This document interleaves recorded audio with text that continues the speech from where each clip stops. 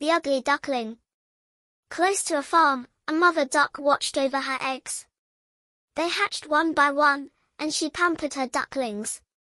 But there was one large egg that took longer to crack open. What emerged was different, a duckling with dark grey feathers. The other ducklings teased him, calling him ugly. Even the farm animals mocked him.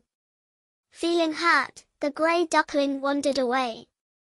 As he grew, he discovered his true identity. He was not an ugly duckling, but a beautiful swan.